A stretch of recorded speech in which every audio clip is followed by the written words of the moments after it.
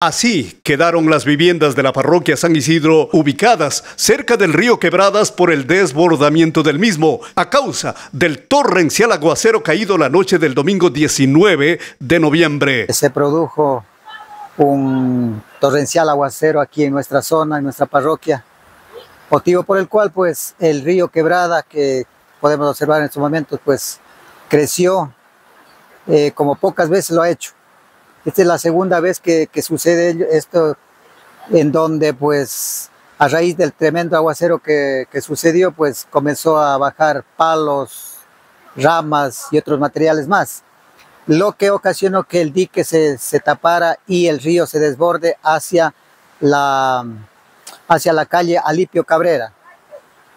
Y es así como pues quienes tenemos nuestras viviendas en la calle Alipio Cabrera, pues nos vimos afectados por cuando el río o las aguas del río comenzaron a ingresar a nuestras viviendas, a las habitaciones, lo que ocasionó eh, primeramente temor a todos quienes habitamos en este lugar y luego pues también la, desesperación por precautelar nuestras vidas, por sacar algunos materiales que tenemos en nuestras viviendas.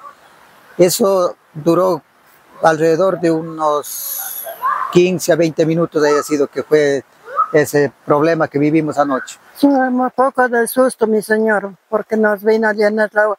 Se cae una tempestad y se llenó con todo mi, mi chocita, se llenó. Yo que me salí estar ahí, me salí a ver cuando ya estaba de vuelta cruzando por lado. Era mucho, es mucho, señora. Julia, como dicen, la primera agua y ahora no sé qué será que están sacando los otros ríos. No estoy de acuerdo, yo se sufro. Yo soy una persona mayor, avanzada de mis edades. Tengo mucha presión alta, pero ya me trato de caminar mejor, mi señor. Está hecho un hueco al lado de mi casa. Yo eso estuve rogando al señor alcalde de mañana, por favor. Era de hacer cuando hicieron antes del puente mismo, estaban ya por hacer una, un muro, pero hasta ahora no nos han hecho, mi señor.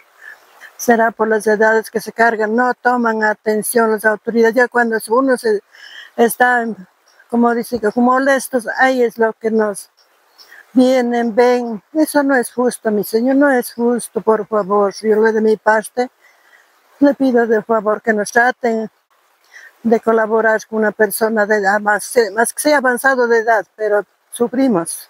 Todo el río pues salió de su cauce normal y se fue por las calles en el barrio occidental, causando lógicamente problemas en las diferentes viviendas que existen río abajo. Ahora, también se avisora un problema más. Eh, sabemos que por construcción han invertido más de un millón de dólares para un acueducto. Tratan de traer dos riachuelos más a desembocar en este río Quebrada. ¿Qué va a pasar cuando ya vengan las dos aguas para acá? Entonces hay más caudal y lógicamente va a haber más problemas en el futuro.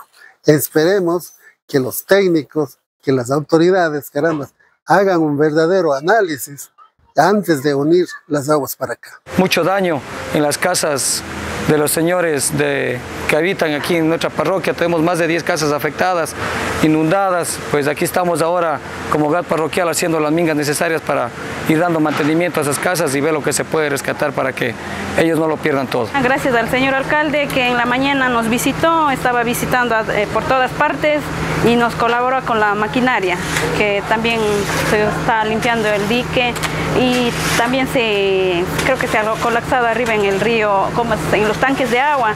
También ya, bueno, gracias a Dios, todas las autoridades están ahorita apoyándonos. El dique, principal atractivo turístico, también resultó afectado. Buenas. Buenas. muy buenas. ¿Qué es lo que está procurando? Abrir la puerta.